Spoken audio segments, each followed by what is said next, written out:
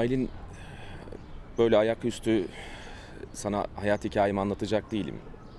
Ama birkaç kelimeyle, birkaç cümleyle özetlemem gerekirse benim hayatım hep mücadeleyle geçti. Ama gerçekten hep mücadeleyle geçti. İstediğim her şeyi mücadele ettim. Evet ilk seferinde başaramadım ama sonunda istediğim şeyi hep başardım ve kazandım. Senden başka. Hep oyuncu olmak istemişimdir. Zorlu yollardan geçtim. Çabaladım, didindim. Sonunda oldum. İşte artık kamera önündeyim. Bir filmde oynamak kim bilir kaçımızın hayallerini süslüyor. Eğer siz de bir kast ajansına başvuru yapıp şansını denemek isteyenlerdenseniz bu bölümü mutlaka izleyin derim. Günün getirdikleri başlıyor. Oyunculuk kimilerinin hayallerini süslerken kimilerine de hiçbir şey ifade etmiyor olabilir. Benim oyunculukla ilgim alakam yok diyebilirsiniz. Ama unutmayın, sizler de her gün ekran başına geçip filmleri soluksuz izlerken oradaki karakterlerle birlikte sinirleniyor, gülüyor, üzülüyor ve eğleniyorsunuz. Aslında bir nevi oradaki karakterlerle özdeşlik kuruyorsunuz. Açık arttırmayla mezatta satılmış.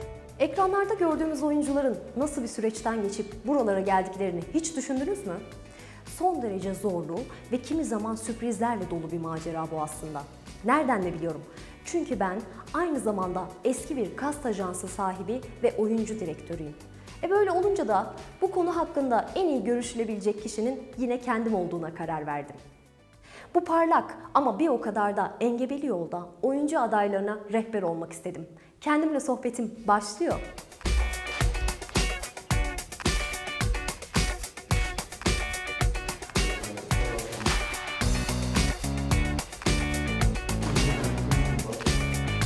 Şu an bir kast ajansında kendimleyim. Evet kendimle. Bu nedenle bu röportajın son derece içten ve dürüstçe geçeceğine emin olabilirsiniz. Acaba oyuncu adaylarının kast ajansına gelme nedeni nedir? Bu soruyu kendime sormadan önce mikrofonu oyuncu adaylarına uzatalım dedim. Bir süredir oyunculukla ilgileniyorum ama e, artık bir yere gitmediğini fark ettim. Çünkü bir dizi veya filmde oynamak gerekiyor gerekiyor bir yerden sonra. Bunu hep istiyordum. Yıllardır istiyordum ama hiç adım atacak cesareti bulamamıştım. Çevremdekiler çok destekledi ve böyle bir şey tecrübe etmek istediğimi fark ettim. Ben niye olmayayım dedim. Ben niye ekranın o tarafında olamayayım? Neden ünlü olup çok para kazanmayayım diye düşündüm. O yüzden bir kas ajansına geldim. Oyuncu adaylarının birbirinden farklı yorumlarını dinledik. Şimdi bu soruyu bir de oyuncu direktörü Nahide Aynı'ya soralım. Sevgili Nahide, oyuncu adaylarının kast ajanslarına gelme nedeni nedir? Öncelikle e, kast ajansları görsel medyaya oyuncu kazandırırlar. E, yani görsel medyaya, yapım şirketlerine e, oyuncu yönlendirirler. Oyuncu hatta model de yönlendirirler. E, bu yüzden oyuncular da bunu bildikleri için e, bize gelirler ve kayıt yaptırırlar. Bir kast ajansına başvuran oyuncu adayları için kayıttan sonra başlayan bir süreç vardır. Böylece ajans yetkilileri oyuncu adaylarının niteliklerini keşfetmeye çalışıyorlar. Öncesinde gittiğimde e, beni sıcak karşıladılar diyebilirim. Sonrasında bir form doldurdum. Benim fiziksel özelliklerim ve becerilerim hakkında işte yaş, boy, kilo veya önceden bir tecrübem varsa onlarla ilgili bilgilerdi. Sonra e, bir fotoğraf çekimi oldu. E, O fotoğraf çekimi bence mesela güzeldi yani profesyonel bir çekim oldu. Sonrasında yeteneklerim doğrultusunda oradaki direktör e, bazı şeyler gösterebileceğimi söyledi. Hani yetenek, dans edebiliyordum mesela. Hangi dansları edebiliyorsun gibi bir şey geçti aramızda. Öyle bir şey yaptım. Peki e, bir oyuncu kast ajansına başvurduktan sonraki izlenen süreç nedir? Oyuncu başvurduktan sonra biz kayda çağırıyoruz oyuncuları.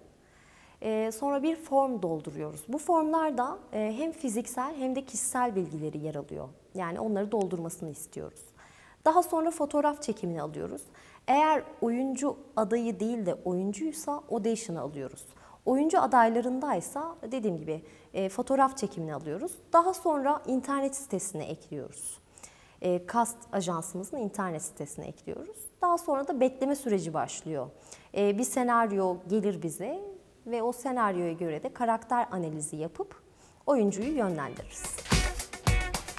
Film sektörünün ülkemizde kaydettiği gelişmeye koşut yeni yüzlere duyulan gereksinimin arttığı da aşikar. İzleyiciler ekranlarda başrolden yan role kadar yeni isimler görmek istiyor. Bu yüzleri ekrana getirmek de kast ajanslarına düşüyor. Bir tür taze kan diyebiliriz. Peki her oyuncu olmak isteyen kamera önüne geçme fırsatı bulabiliyor mu? Ya söylenene göre eğitim, tecrübe çok önemli olduğu söyleniyor.